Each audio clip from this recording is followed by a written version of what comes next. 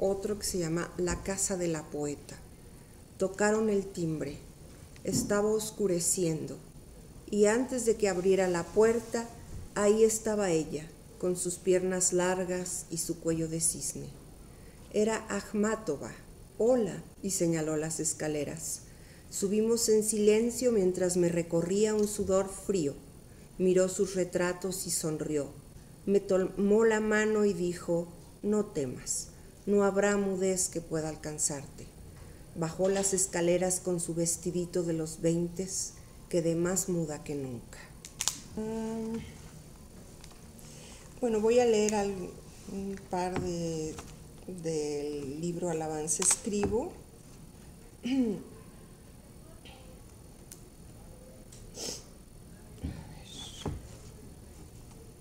Bueno, este cortito que se llama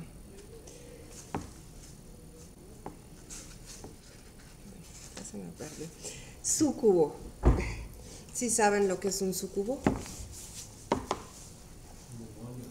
Ah, sí, eh, en la Edad Media decían que el diablo tomaba diferentes formas para venir a seducir a los hombres y las mujeres, ¿no? Y, el sucubo es un demonio eh, encarnado en una mujer y el incubo es un, demonio en, el cuerpo de hombre.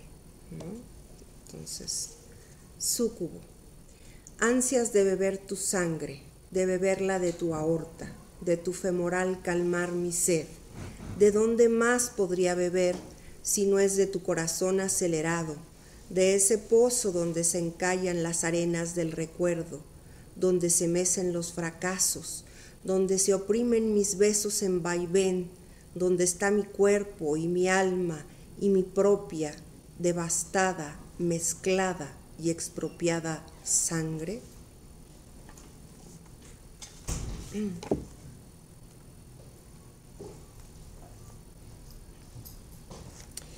Rectificación del mito. Costilla maldita que soy de Adán, busco al sol que la noche arrebata, pues sé que la luna despellejará mi piel. Del árbol de los misterios me apropio una fuerza visionaria para poder mirar mi dolor y no morder por segunda o enésima vez la manzana.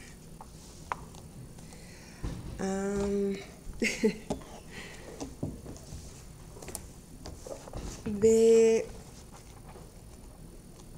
de Netzahualcoyot recorre las islas, que fue mi tercer libro. Eh, fue publicado por la UNAM y desafortunadamente la edición se terminó, nunca se volvió a editar, pero en, en esta antología que sacó Callarena, que se llama Incandescente, ahí vienen eh, algunos de los poemas de, de Recorre las Islas. Mm.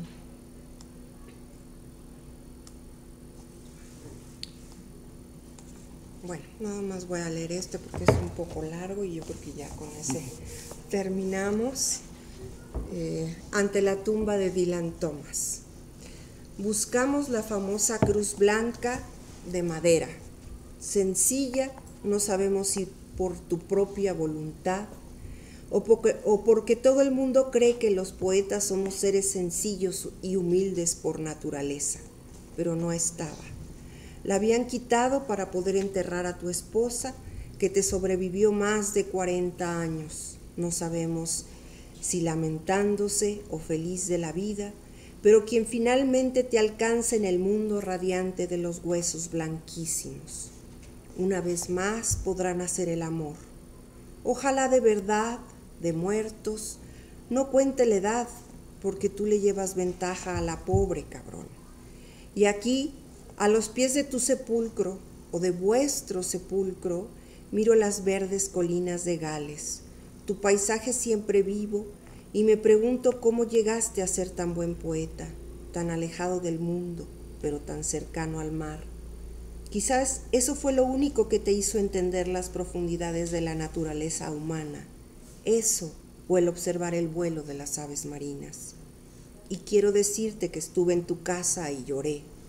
Lloré porque sabía que un día estaría en Lo No sabía que sería finales de agosto, ni que llevaría a mis hijas, ni que andaría de la greña con Arturo. Pero lloré porque tu voz de poeta siempre ha llegado a mi alma, aunque algunos digan que eras un borracho, que lo eras, por supuesto, pero eso nunca te quitó lo poeta. Yo he venido a rendirte homenaje, pero en este momento solo quiero hablarte de miserias, de cómo el amor se hunde en los órganos y los hace sangrar, porque nosotros no queremos dejar de amar o simplemente quizá de estar. Y los idilios más apasionados se ensucian con las palabras ligeras del insulto, y el matrimonio y la convivencia provocan silencios lisos que se prolongan entre los pensamientos largos y los cortos, y parecen durar toda la vida. Yo que nací siendo visible y me he pasado la vida tratando de ser invisible, empantanada entre el ser y el no ser, queriendo ser buena madre y lastimando, deseando amar a los que se me mueren, dando a destiempo con la, la torpeza de un reloj descompuesto.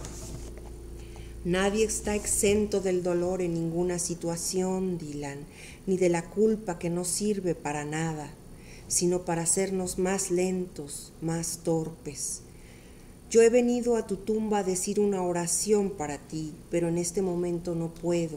Las lágrimas me ahogan y solo quiero que me regales un poco de magia antes de que el escarcha pinte mi pelo con sus dedos blancos y mis octubres todos sean de un hielo definitivo. Antes comparte conmigo tu secreto fue solo el mar helado y el canto de los cuervos, o las colinas verdes o el frío de la vejez que se acercaba. Imbuye en mí tu sangre. Háblame, Dylan, háblame.